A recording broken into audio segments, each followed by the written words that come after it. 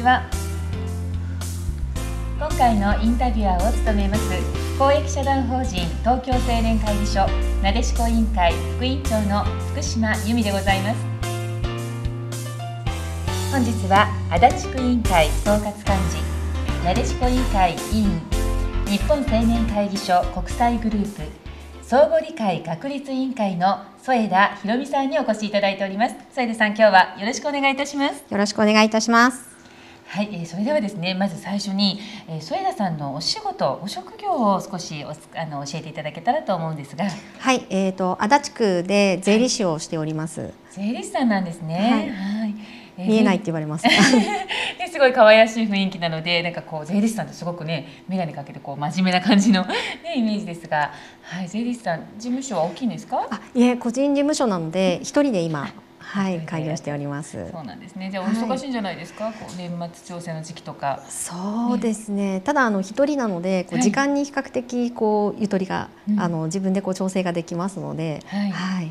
そうですか。東京青年会議所に入られたきっかけを添田さん教えていただいてもよろしいですか？はい。えーと、きっかけは勘違いと成り行きなんですけど。勘違いと成り行き、はい、はい、どんな勘違いだったんですか？あのまあ、仕事仲間の勉強会がありまして、はい。はい、でその勉強会であの日光街道を歩こう企画っていうのがなぜか回ってきて、でなんとなくそれに参加してしまったんですね、はい、そしたらどうも後で分かったんですけどそこのその勉強会の主催されてた方自体も JC の OB だったそうで、はい、で日光街道を歩いたのが12人ぐらいだったんですけど、はい、その中にあのわんぱく相撲委員会の小柳委員長とか、藪野総括とかあと,、えーと、墨田区の、はい、えー、小出総括とか、あとはなでしこ委員のあの石川会計幹事さん、はい、はい、若子ちゃんですね。はい、若子さんもいらして、はい、でなんだかんだ言ってその半日一緒に歩くわけで、はい、でその中でこう JC 活動をこ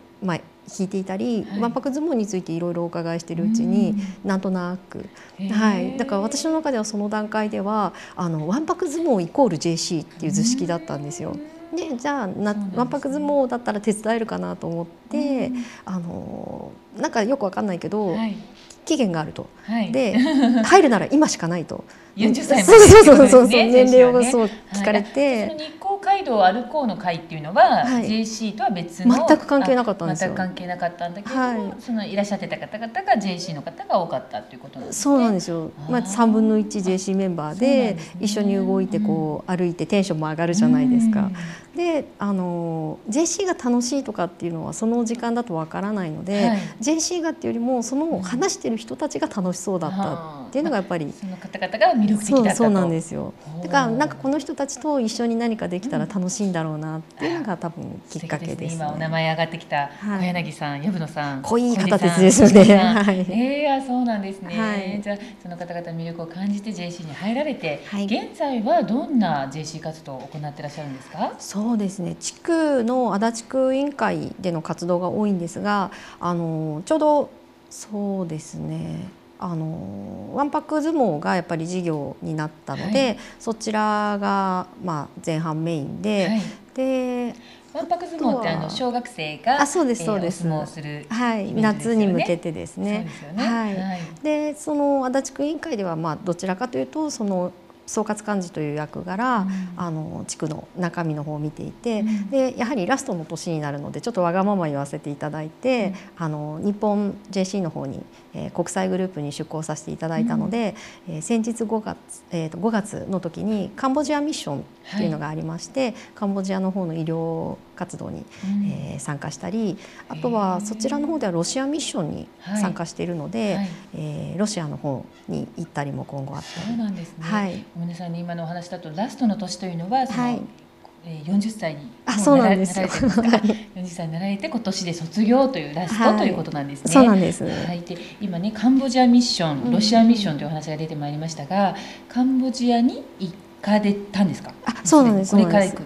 えっ、ー、と5月にえっ、ー、ともともと JC のその、あの東京青年会議所のなんとか部会ってこういろいろあるじゃないですか。はい。はい、その医療部会っていうのがメインで、卒業された先輩方が、えー、展開している国境なき奉仕団っていうのがありまして、はい、でそちらの方であのお医者さん募って、カンボジアのお医者さんがないような検診活動がないようなところに、あの衛生面の大切さを説こうみたいな活動があって、ね、はい、素晴らしい。なんか私もそんな活動があったこと知らなかったんですけど。そうなんですか、はい、じゃあもうカンボジアやロシアに行かれて、うん、そういったまあボランティア活動をされてということですね。うん、はい。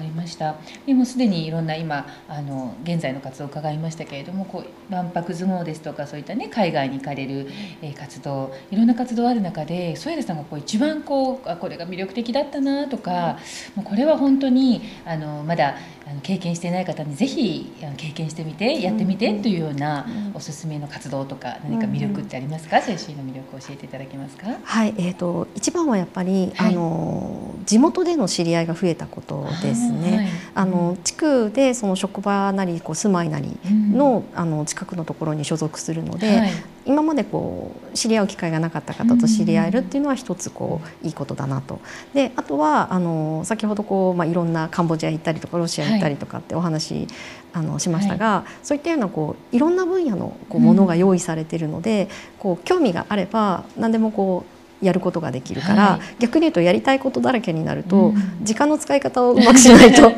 間に合わなくなるのでね、あの副産物でそこら辺もついてきたりとか。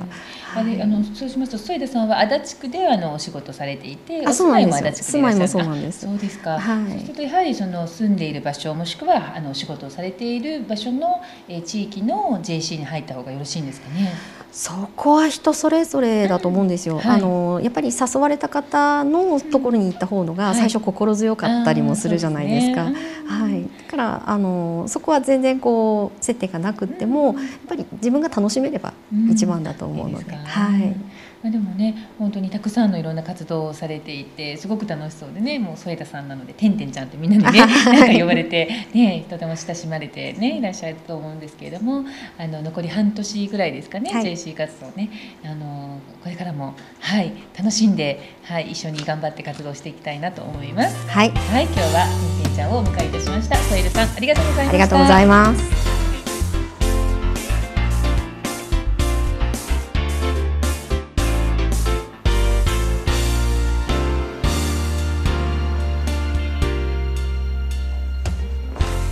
彼氏募集中